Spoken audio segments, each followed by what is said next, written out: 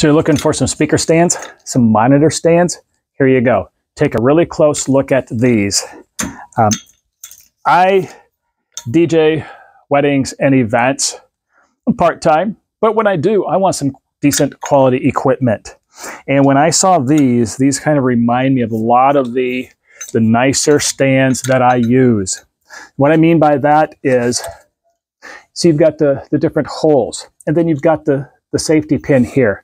So you put the speaker stand inside, you insert the pin through the hole, and then snug it down a little bit. That way it can't begin to slowly sink down. You've got some nice clamps on the bottom and it's got felt pads on the top, felt pads on the bottom so it doesn't damage your, your furnishings or your desk or whatever you're putting it on. Now, these are easy to put together. A screw here and then a screw in the bottom.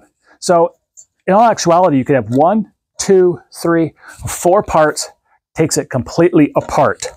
And then when it is put on your desk, if you're going to use them as monitor stands, you could have this on each side of your table or your desk as you're working with your sound equipment, and you've got your two monitors facing back at you so you can hear what you're doing.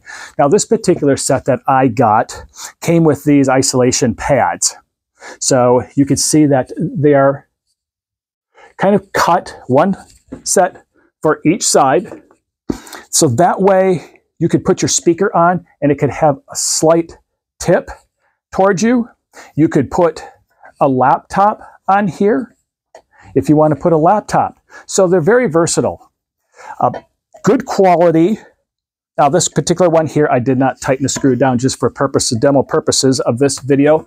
This one, the screws are all tightened down on it. Uh, very solid. Uh, the, the hardware is very nice. I don't see anything really cheap on the hardware. The, the metal used in the tubing is nice quality metal. The plate on top even comes with uh, the, the rubber safety pads here, skid pads. So if this is what you're looking for, you're going to get some good quality equipment here that should last you a long time. Thanks for watching.